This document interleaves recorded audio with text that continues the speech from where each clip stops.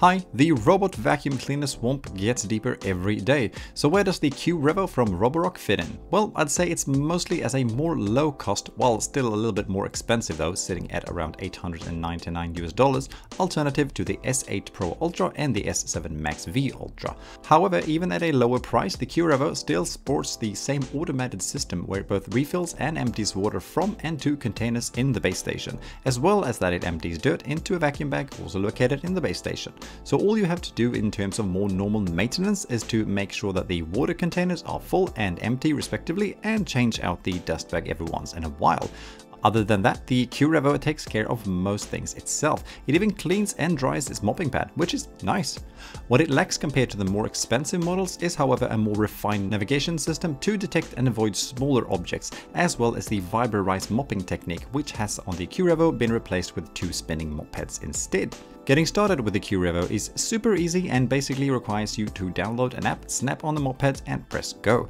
The robot then creates a map of your household and after some more fiddling and dividing of rooms in the app, the robot can then start cleaning.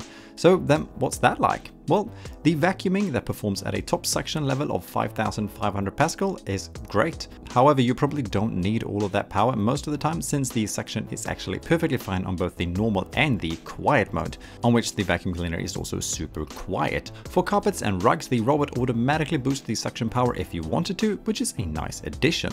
The mopping also leaves good results and little to be desired in terms of cleanliness, at least in my novice mopping book, and the robot also has no issues navigating through chairs and table legs and avoiding other bigger obstacles. Battery life is spec to about 180 minutes and to clean my roughly 90 square meters apartment leaves around 60% battery life after an hour of vacuuming and mopping. A fair result I'd say.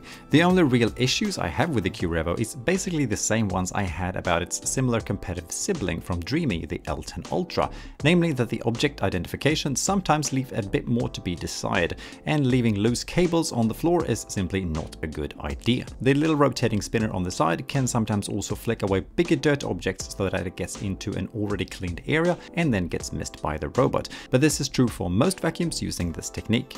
I also noticed that the build quality feels somewhat more rickety again compared to the Dreame L10 Ultra, especially in the front bumper that does make a little bit more of a plastic noise when traveling over large bumps. However, it doesn't seem to impact the functionality at all. Speaking of bumps though, the Q-Revo also has no problem getting over my 1-ish centimeter thresholds, but just like the Dreame L10 Ultra, I'd say that higher ones might put up a little bit more of a fight. Apart from that though, the Roborock Q-Revo is a surprisingly cost-worthy cleaning companion that makes both vacuuming and mopping a breeze. Surely it's expensive, no doubt about it, but it is not as expensive as their top tier models, and if you're looking for something a bit cheaper but with a good overall functionality, I'd reckon you will get pretty far with the Q-Revo. And that is that. Please share any questions in the comments below and I'll do my best to answer them. Have a nice day. Bye.